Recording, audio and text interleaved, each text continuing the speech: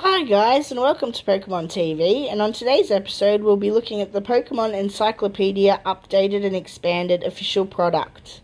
Now this book is a hardback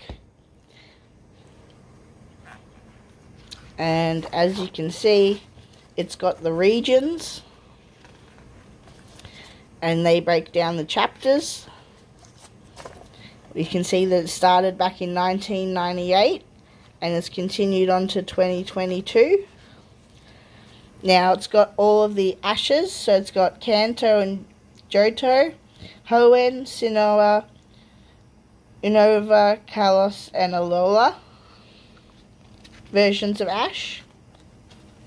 And Ash's Pokemon as well. Now, I did want to show you guys something. That something is about Professor Oak. Poetry. Professor Oak is a skilled practitioner of Pokemon poetry, expertly crafting haiku-like poems of 15 to 17 syllables. They not only describe the different aspects and traits about Pokemon, but also serve as metaphors for important life lessons, whose deep meanings are often overlooked by the casual listener. Some examples include Blastoise fight or hide away to fight again some other day, and Sandslash rolls into a spiny ball. Three meals a day, eats them all. Then we have um, Misty and her Pokemon, and Brock and his Pokemon as well.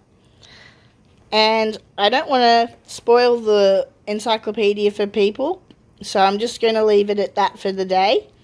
But it's well worth the money, especially if you're a Pokemon fan. It's definitely one to have in the collection. Okay, thanks guys. Bye.